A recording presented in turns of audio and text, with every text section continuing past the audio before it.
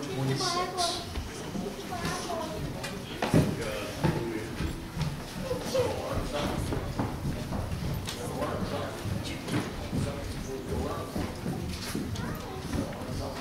Praise the Lord. Matthew chapter number 26, looking at verse number 47, verse number 48. The Bible says, And while he yet spake, lo, Judas, one of the twelve, came, and with him a great multitude with swords and staves, from the chief priests and elders of the people. Now he that betrayed him gave them a sign, saying, Whomsoever I shall kiss, that same is he. Hold fast, hold him fast. Whomsoever I shall kiss, the same is he. Hold him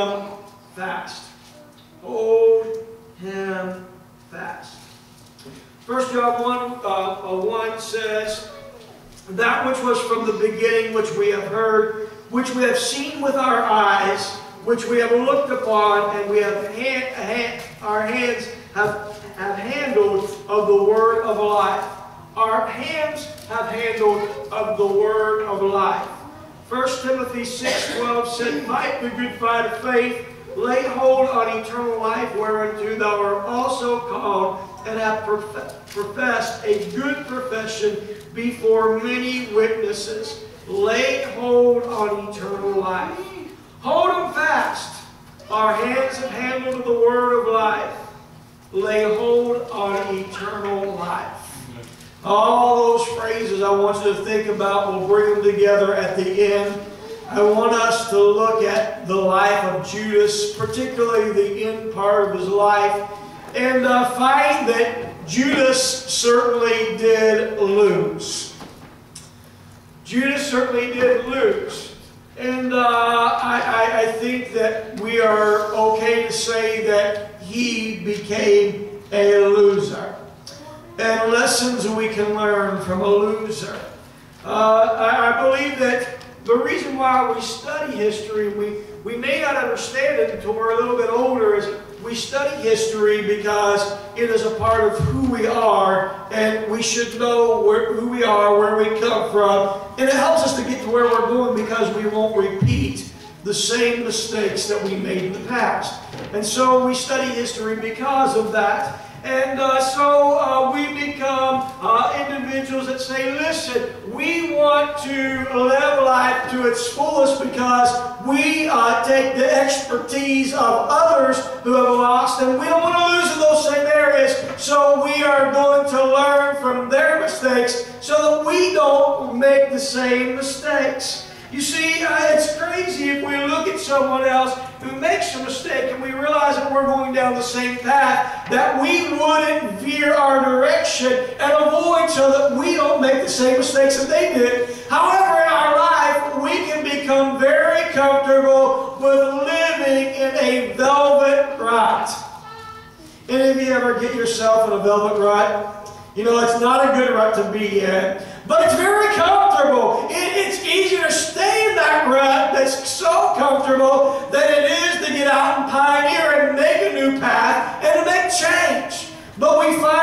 living life in a velvet rut sometimes can cost us greatly in the long run.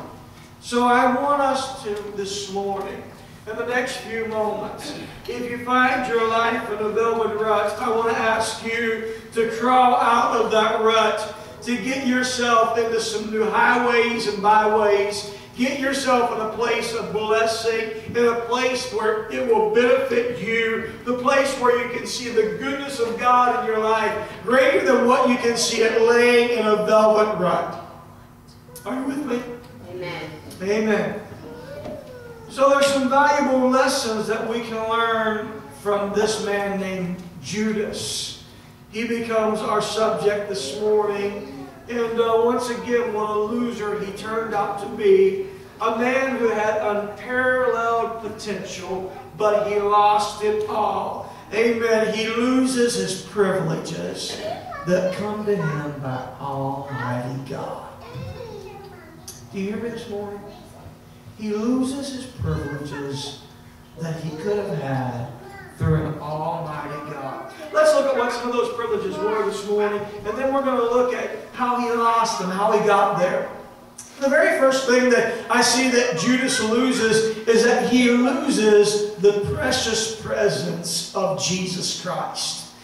Here he is, a man who walks with God, and he realizes that he is his master. He has the opportunity, as part of the 12, to have a relationship with Jesus Christ like no one else has ever had. Uh, but, he takes opportunity, and he lives in a velvet rut. He should have gotten some out of it,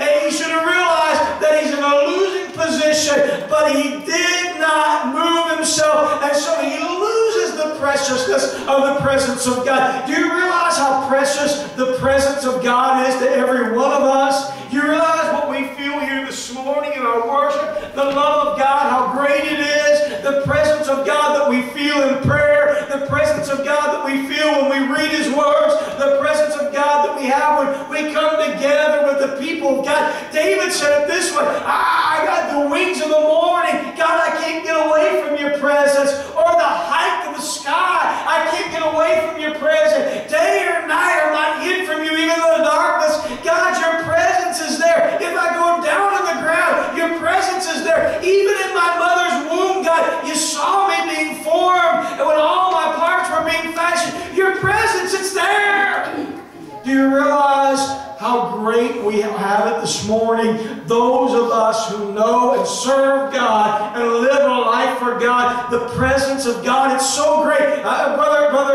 were talking this morning. Sometimes we just take that presence for granted because we're in the everyday grind of life. And brother David, we don't realize how great the presence of God is right there. Judas didn't realize, brother Terry, how great he had it in the presence of Jesus Christ.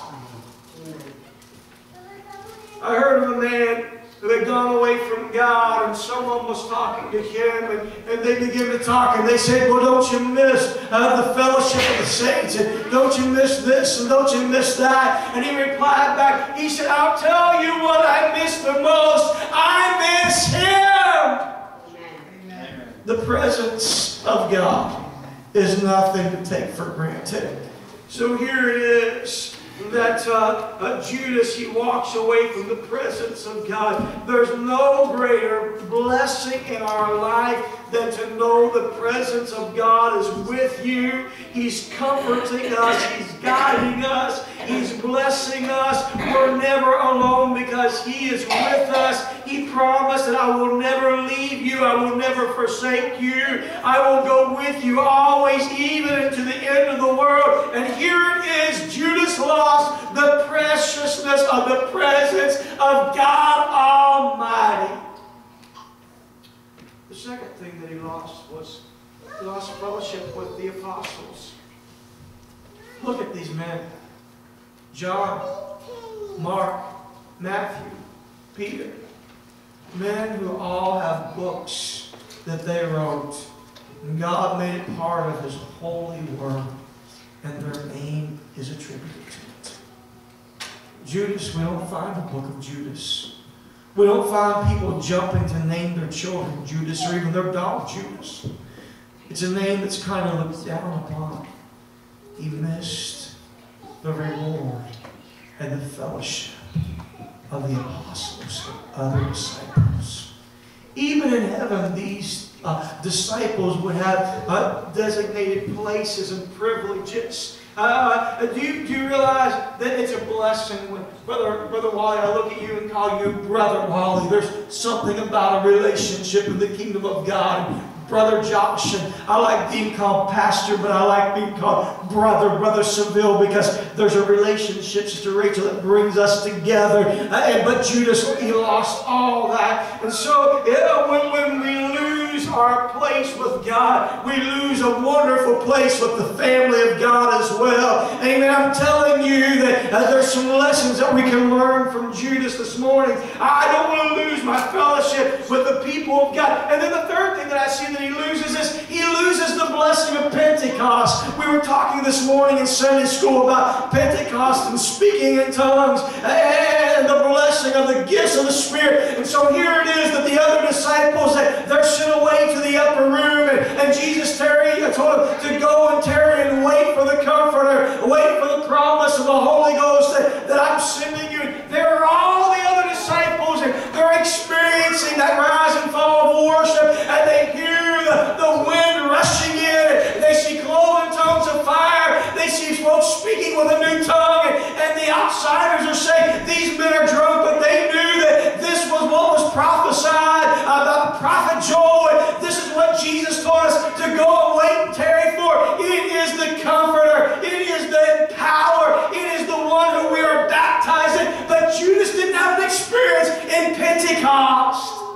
Amen. Because he lost it. He lost the privilege.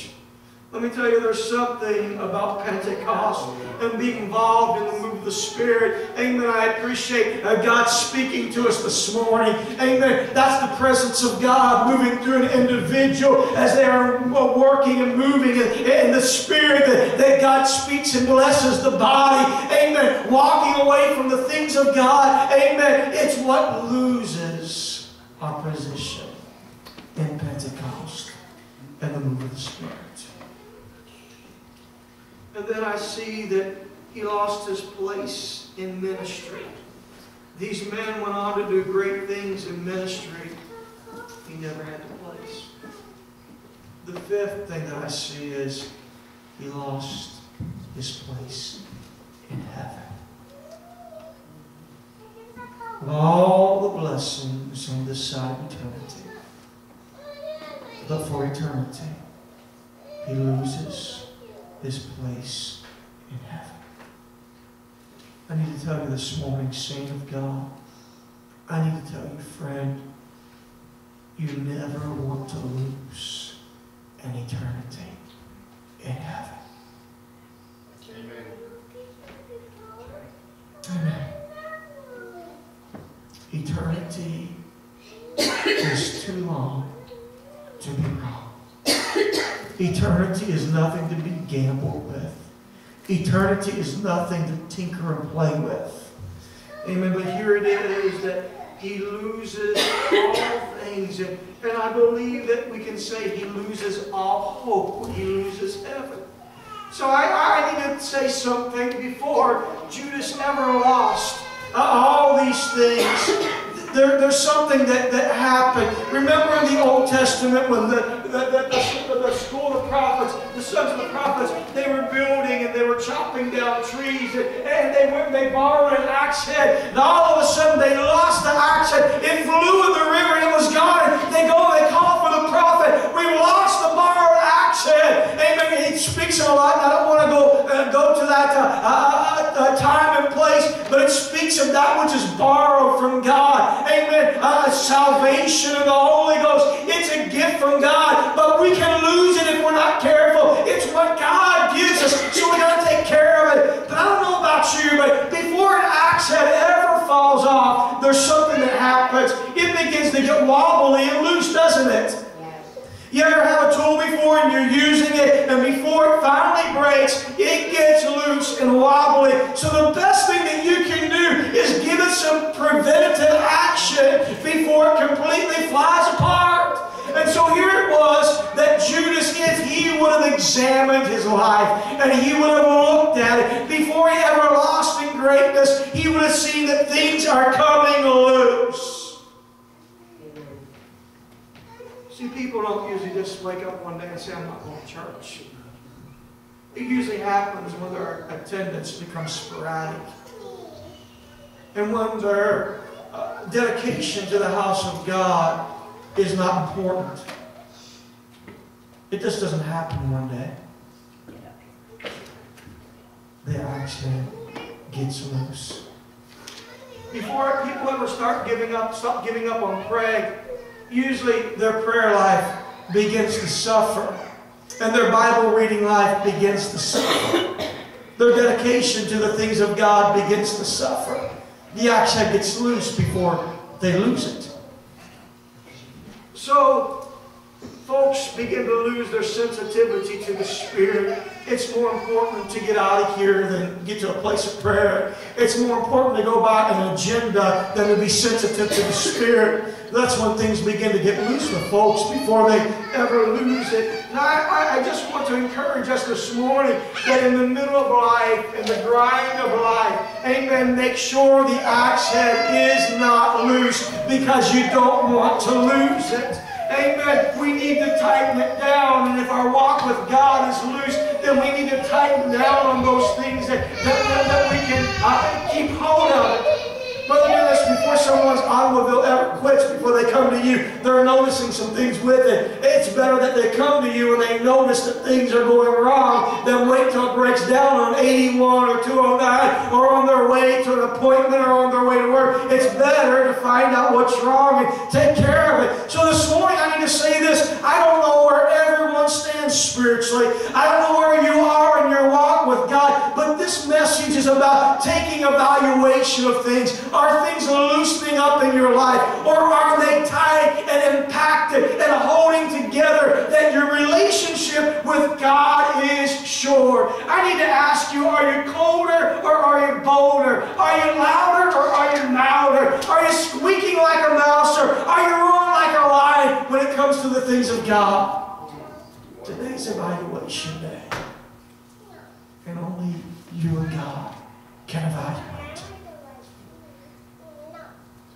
You see, one day a woman came by to Mary and she had, uh, to, jo- uh, to Jesus named Mary, and she had an alabaster box of ointment. I've preached about this before, but that alabaster costing a year's wages, that, that precious aroma in there from the spikenard plant when Joshua was expensive. But the alabaster box wasn't like going down here to Family Dollar and picking up a cheap bottle of spray perfume that you can spritz it here and there. It's a lot different. It was a costly box with costly ointment. But when you broke it, you had to spill it all out. There was nothing that would be left. So one day she came to Jesus, this woman who God had worked and moved in her life. With her heart of gratitude, she broke the alabaster box. She began to pour it out upon the feet of Jesus. And there she began to cry, and with her tears she washed his feet, and with her hair she did dry them. And Judas is standing back and he's smelling this, this beautiful aroma. And he said, What is this woman doing? Why, why did she break the alabaster box? Why did she give everything? Do you know that we could have taken that and we could have taken that money and we could have distributed it among the poor? But no, this woman, she gave it all to Jesus. And so Judas was saying this Jesus is worth something, but he's not worth everything. Judas had a problem already. He was holding the money by pouch. Uh, he wasn't concerned about that. Uh, he, he said, Jesus is worth something, but he's certainly not worth everything. I want to ask you this morning, is Jesus worth your everything, or is he only worth something? Are you sold out to God, or are there areas that are reserved to God? Because it's a dangerous place to be. I know a loser who thought Jesus was worth something, but not everything. You may be in a losing position if you don't think God is worth everything.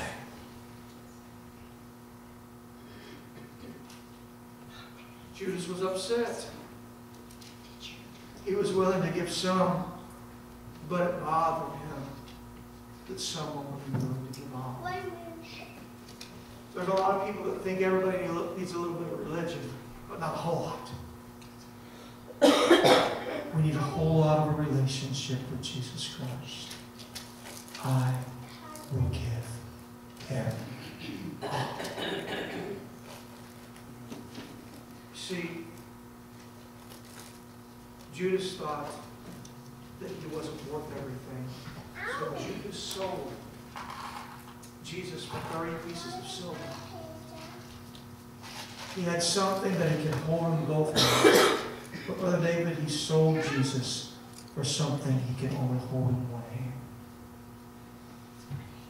Church history tells us that he sold Jesus for the price of a prostitute. He didn't think that he was worth everything, but we see that he devalues him for something that's worth nothing. Something that can only be held in one hand. If you this morning don't think God is worth everything, the axe head is loose. Someday you might think that he's worth nothing. So it's time to tighten the axe head down. I've heard it, you know, the position that I'm in, and you folks here too. Maybe just because of where I stand and get to talk to folks. But I talk to folks all the time who tell me I stopped going to church because of hypocrites. Listen, I've said it a thousand times before. Church is not a museum for saints. It's a hospital for sinners. You may say I'm throwing it in on the hypocrites, but are those folks any better that you're running with? I talk to people all the time that they come to the end of their life, and Brother Josh, they reaffirm what the Word of God says. Brother Craig, that life is like a vapor that appears for a little time and then it's vanished away. I don't know where the years have gone, but somewhere in the middle of the years, I gave up serving God and going to church and being faithful to God. And now I'm scared and I'm concerned and I'm wondering if He'd love me and take me back. Amen. You know what happened in their life? Somewhere they thought that God was worth something, but He wasn't worth everything. So the agendas of life took priority over their commitment to God. Amen. I need to ask you, are you bolder than you've ever been? Amen. Are you stronger in Christ than you've ever been? Is your convictions tighter than they've ever been? Or are they looser? Amen. God is not looking for us to live our life with a loose axe head. He wants us to tighten it down so that we don't lose our relationship with God Almighty.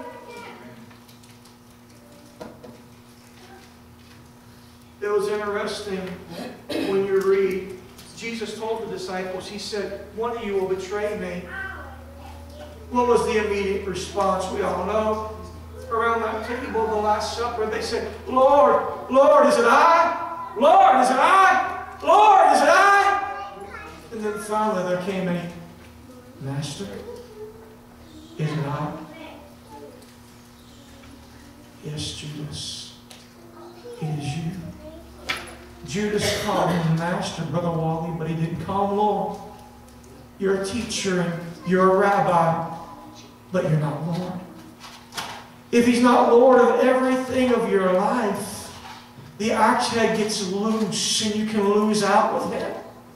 God help us to never get to the place where we lose out with God Almighty.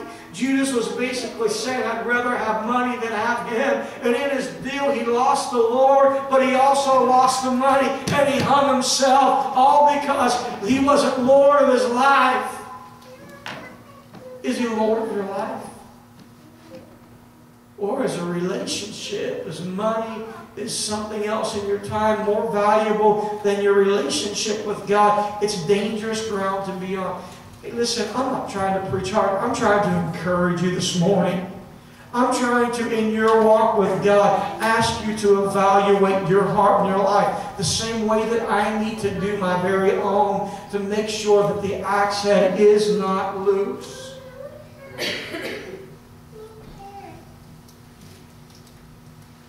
See, some folks are willing to give their family and their friends everything but they jeopardize the relationship with God over it. And in the end, they really don't give the gift that needs to be given.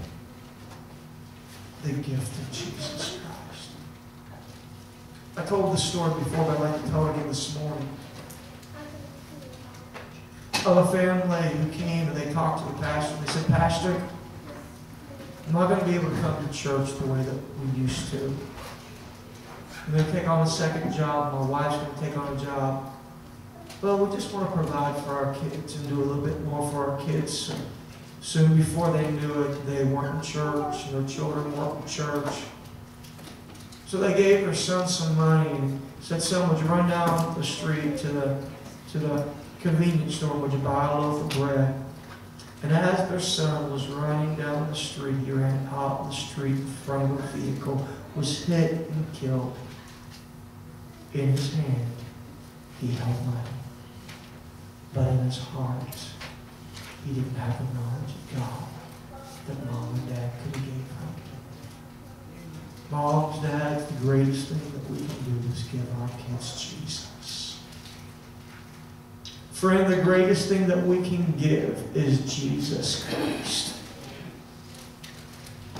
I love what Judas says. If Sister Holly would come to the piano, Judas said to those who he betrayed Jesus for, When I give him a kiss, you hold fast to him. Judas was saying something valuable. He said, I lost him and I let go. But my recommendation to you is you grab him and you hold fast. Don't let him go. I believe if Judas could speak to us this morning, he would say, hold fast to Jesus. Get a tight grip. And don't let go. This morning, I'm here to encourage you. I'm here to help you in your walk with the Lord. How's the axe head? If it's loose this morning, then tighten it up. Maybe it's tight. Keep it tight. But if it's wobbly this morning, get out of the velvet rut. Get out of your comfort zone and begin to travel the highway of God's blessings and provision for you. Amen. Don't sacrifice his presence. Don't sacrifice the ministry that He has for you. Don't sacrifice Pentecost. Don't sacrifice fellowship with other believers.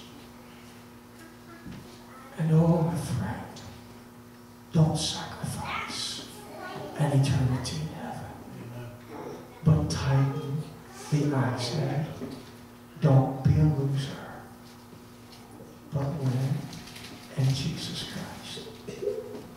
This morning, I just want to invite all of us. Amen.